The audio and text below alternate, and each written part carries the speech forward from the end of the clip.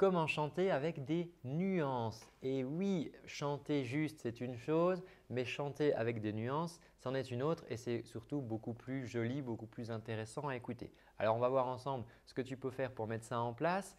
Moi, c'est Antoine, je suis coach vocal. J'apprends euh, aux gens à bien chanter.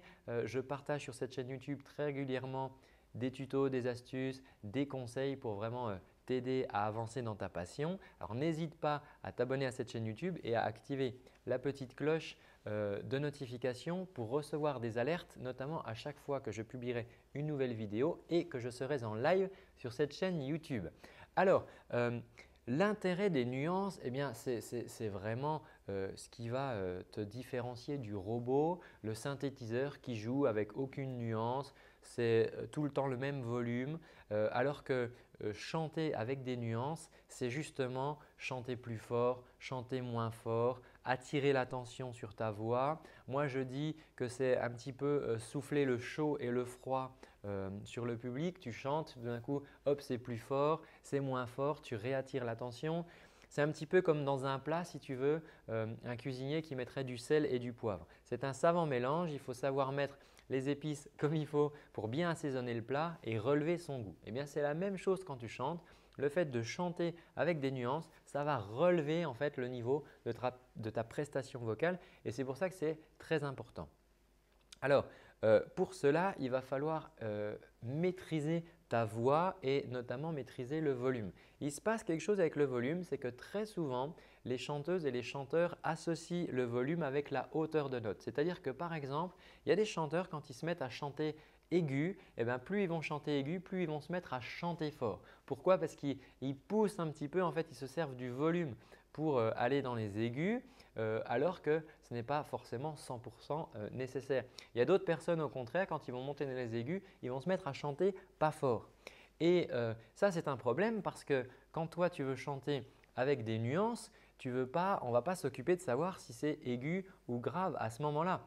Les nuances, tu vas les apporter surtout par rapport au texte, par rapport à l'histoire que tu racontes et à ce que tu vas partager avec le public. Donc, il faut absolument que tu puisses travailler tes aigus et tes graves à n'importe quel volume. Et ça, ça va vraiment être une des clés essentielles pour pouvoir chanter avec des nuances. Donc, ce que tu peux faire, ça va être de travailler tes gammes, des petites vocalises, hein, tu vas pouvoir travailler en la la la, en ce que tu veux. Il y a plein d'exercices sur cette chaîne pour ça.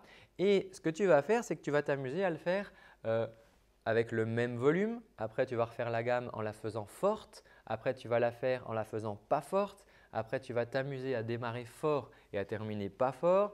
Et après, tu vas t'amuser à, à, démarrer pas fort et à la terminer fort.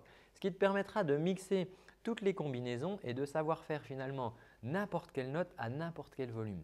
Et une fois que tu auras ça comme capacité, eh bien, tu pourras du coup chanter tes chansons tout d'un coup fort, tout d'un coup pas fort et des nuances vont apparaître dans ta chanson et ce sera vraiment merveilleux à écouter parce que je t'assure que c'est comme un plat, comme je le disais tout à l'heure, un plat qui aurait ni sel ni poivre, rien du tout, c'est absolument fade. Alors que quand tu chantes, quand tu mets des nuances, ça devient tout de suite quelque chose de beaucoup plus pro et de beaucoup plus intéressant à écouter. Alors surtout, n'hésite pas à partager cette vidéo si tu as des amis euh, qui, recherchent justement à chanter avec de nuances, ça les aidera.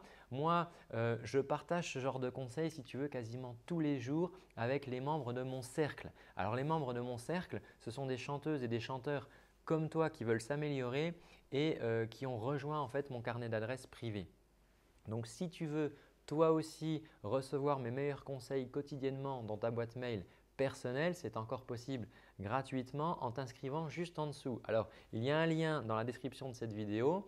Euh, tu cliques dessus, tu laisses tout simplement ton prénom pour que je sache à qui j'envoie les mails et ton adresse mail et euh, tu recevras euh, dès demain mes conseils quotidiens que j'envoie donc aux membres du cercle. Je te remercie d'avoir suivi cette vidéo. Je te dis à très bientôt et surtout, prends bien soin de ta voix. Ciao